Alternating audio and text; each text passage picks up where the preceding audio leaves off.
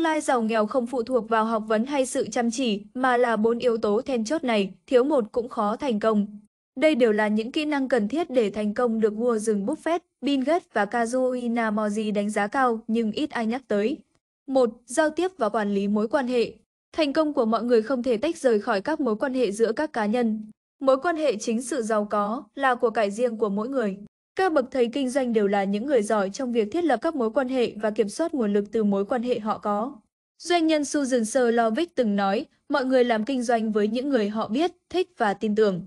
Muốn sở hữu networking chất lượng, việc đầu tiên bạn cần làm chính là trau dồi kỹ năng giao tiếp.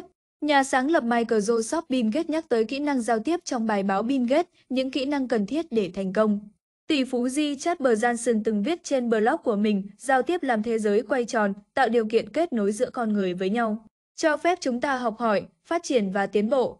Giao tiếp là kỹ năng quan trọng nhất mà bất kỳ lãnh đạo nào cũng có thể sở hữu. 2. Làm chủ thời gian. Thần chứng khoán Warren Buffett từng nói, tiền có thể tiết kiệm được nhưng thời gian thì không. Buffett không bao giờ trì hoãn và tuyên bố những thành tựu ông có được là nhờ không bao giờ lãng phí phút giây nào trong cuộc đời, một trong yếu tố làm nên sự giàu có của ông chủ Hathaway Baxter được một chuyên gia nhận định đơn giản là Buffett đầu tư sớm hơn và tích lũy lâu hơn nhiều người khác. Khi một người biết trân trọng thời gian, tương lai của anh ta sẽ giàu có hơn. Lý do tại sao những người giàu có thể trở nên giàu có là họ tích lũy thời gian. Họ dành nhiều thời gian để nghĩ đến ý tưởng kinh doanh và làm việc chăm chỉ để kiếm tiền trong khi những người khác vẫn đắm chìm vào vô vàn hình thức giải trí khác nhau sau giờ làm. Thời gian là tài sản được phân phát gần như công bằng nhất nhưng tận dụng tài sản này thế nào, quản lý và tận dụng nó để làm giàu ra sao là tùy thuộc ở mỗi người. 3. Suy nghĩ độc lập. Cách suy nghĩ của người giàu luôn khác biệt, không chỉ về tiền bạc mà còn về mọi thứ. Trong khi mọi người cố gắng để làm theo những gì họ vẫn thường làm như một lối mòn, người dành thời gian và năng lượng để tạo ra con đường của riêng họ luôn có khả năng giàu có. Điều này không có nghĩa bạn phải làm ngược lại những gì phần còn lại của thế giới đang làm mà là sự can đảm làm theo những gì bạn cảm thấy quan trọng. Có tiềm năng phát triển chứ không phải chạy theo suy nghĩ của đám đông.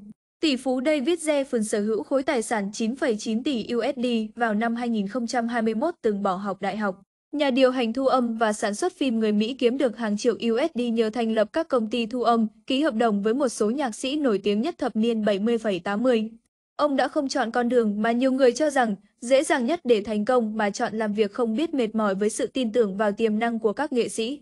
Và Jeffern đã có những thành tựu đáng ngưỡng mộ. Ngày 4. Đam mê với việc mình làm Theo thần kinh doanh Kazui Namoji, một người đủ đam mê và yêu thích công việc của mình, sự giàu có chỉ là chuyện sớm muộn.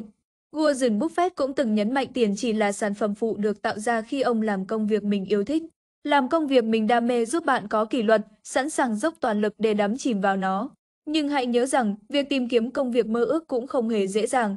Hành trình đến với 1 triệu USD đầu tiên của các triệu phú cũng mất trung bình 8 năm, theo Anchap Journal. Không chỉ vậy, hầu hết họ đều gặp phải nhiều thất bại trước khi thành công như cựu CEO Microsoft T. Ballmer, Rupert Murdoch của đế chế truyền thông Fox hay thậm chí cả Buffett. Điều giúp họ bước qua thất bại không chỉ là tài năng mà còn là bởi họ yêu thích và tin tưởng con đường mình chọn. Vậy nên nếu bạn đã tìm được đam mê của mình, đừng ngần ngại đầu tư thời gian và tâm sức để trở thành người giỏi trong lĩnh vực của mình.